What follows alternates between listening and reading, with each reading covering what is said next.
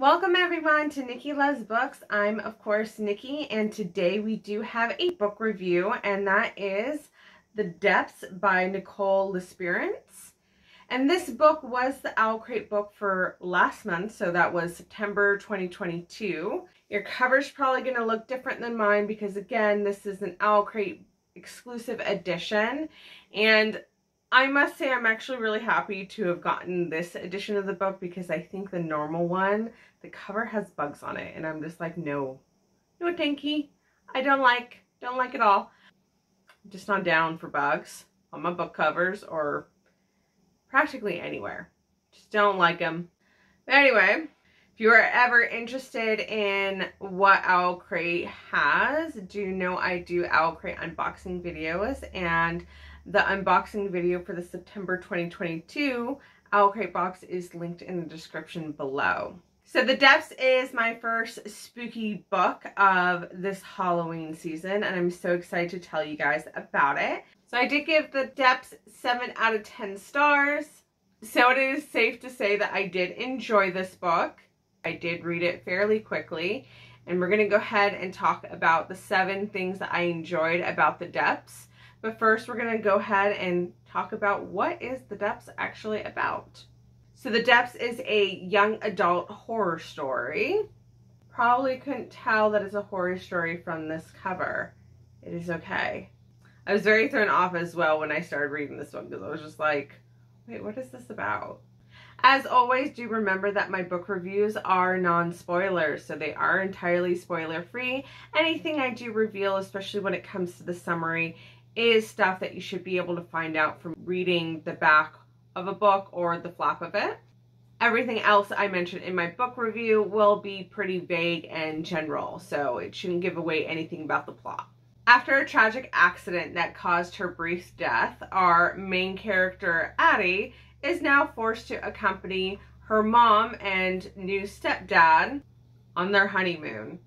Two weeks on a deserted island, especially with these people, it's not Addie's idea of fun. The island appears beautiful and serene, an absolute perfect paradise. But Addie seems uneasy and feels like something or someone is watching her. And as time goes by, things just keep getting weirder. The island birds call her name. The white flowers are changing to a blood red. Addie is having vivid nightmares, and a little girl no one else seems to see is wanting to play hide and seek with her. While Addie should probably leave the island immediately, she wants to stay Addie wants to stay because she's drawn to the mysterious boy she met on the beach who keeps telling her the island loves her. But that love comes at a price as Addie learns two other girls have died on that island centuries before.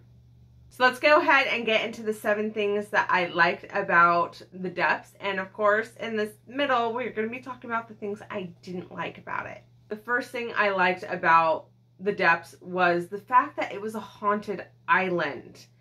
While not exactly an original idea, Nicole Lesperance is not the first person to kind of have an island be unsettling.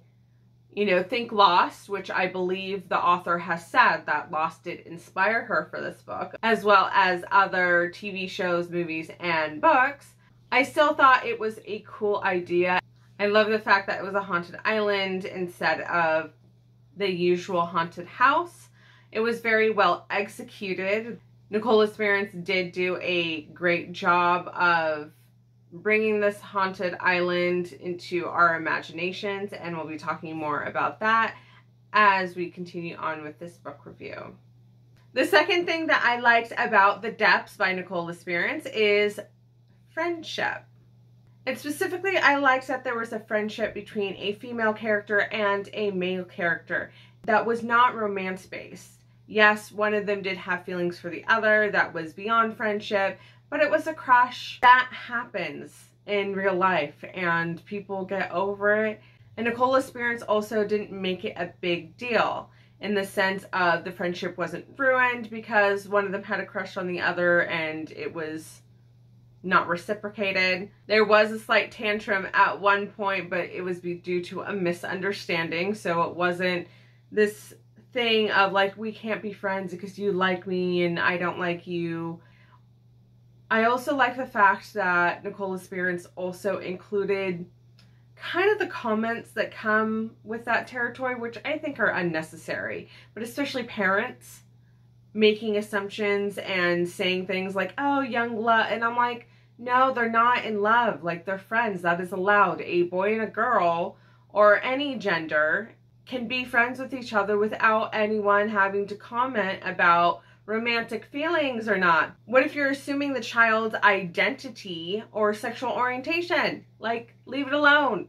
Just because people are friends does not mean that they're automatically romantically interested in each other. You could be platonic friends. So yes, I did like the fact that the depths did show a friendship between someone who identified male and someone who identified as female and they were both of heterosexual orientation as far as we know, and they were not romantically involved, and it was okay. Number three that I liked in the Depths is the description. So Nicole Lesperance has also said that she has gotten a lot of inspiration from Gothic novels, hence why she wrote a very Gothic inspired novel herself. The author has said that she's gotten a lot of inspiration from Rebecca, Jane Eyre, and Wuthering Heights. And if you guys are familiar with those books, which I know a lot of us are, but a lot of people, it's not their cup of tea, which is totally fine. But I have read all of them, and I can tell you they are very descriptive heavy. Extremely. Like Jane Eyre, dear God, you could go pages, pages of just description you know, not, not okay, we're not not bad as Tolkien. Like Tolkien, Tolkien's a whole different monster on description. But know that Jane Eyre, Wuthering Heights, and Rebecca are all heavy on description. And it is supposed to be for setting and for the emotional context of feeling unsettled, if that makes sense. Really happy to say that The Depths was a good compromise in the sense that there is very good description. Like there was a few sentences that I felt like I was on the island. I I could feel what the character was feeling. I could see what they were seeing. But it wasn't overly done. I know a lot of people who don't enjoy the old gothic novels like Rebecca, Jane Eyre, or Wuthering Heights simply because the description is so heavy. For some people, it's it's too boring and that is absolutely fair and I understand that. So I think the depths does a good job of pulling from those, pulling from that inspiration, making sure that there are descriptions, especially again to set the mood, but it's not so heavy to the point where it pulls away from the story. So it was really well done. It was a, again, like I said, it was a good compromise of including that aspect of the gothic novel with those scenery and setting descriptions that set the undertone of something being not quite right, but you're not going on for for paragraphs at a time with description. It was a good balance of description as well as action and dialogue. Number four is going to be leading us right into the one negative I have about the Depths. Fourth thing that I think was really well done in the depths, but was also a huge irritant for me, is that the author nailed teenagers so freaking well. And I say that with attitude because teenagers can be very grating. It was impressive that Nicole Lesperance really, really, really channeled a teenage girl. The obsession, the one track mind of this is my life. If I can't do this, my life is over.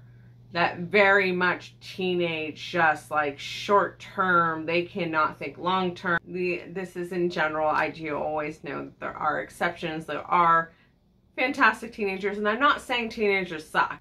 They're not fully developed mentally, which is true, and because of that, there are things that they do and think and say that are just obnoxious, and I kind of want to shake some of them, especially when they get into this mode of if I can't have this, if I can't do this, my life is over. Your life is not over. I promise you.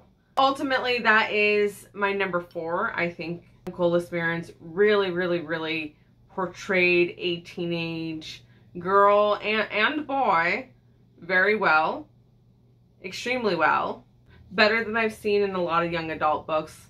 You know, some young adult books I read and I forget that they're teenagers just because they're acting more like, you know, maybe not necessarily full full grown adults, but young adults, you know, so somewhere around the age of like 20 to 25.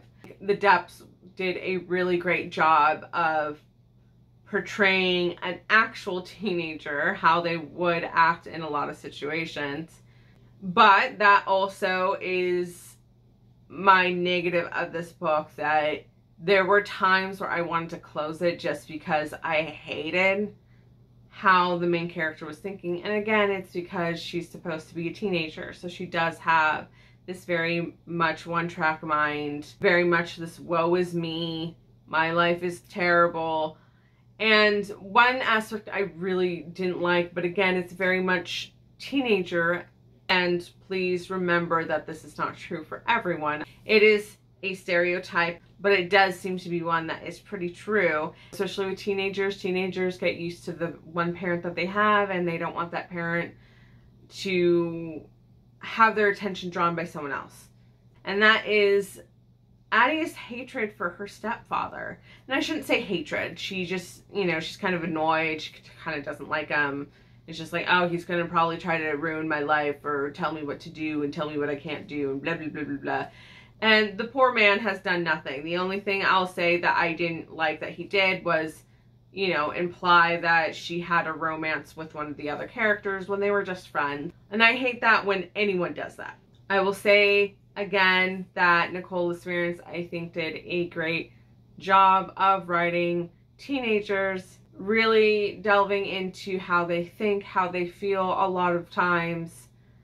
But because of that is also very grating for me because I generally don't like it when they think that way. Getting back into the positives again, number five is actually the characters. So yes, while I hated the teenage drama and angst, I did have a soft spot for more than one character. Even with our main character, Addie, there were things that I did enjoy about her. I did like her very courageous attitude.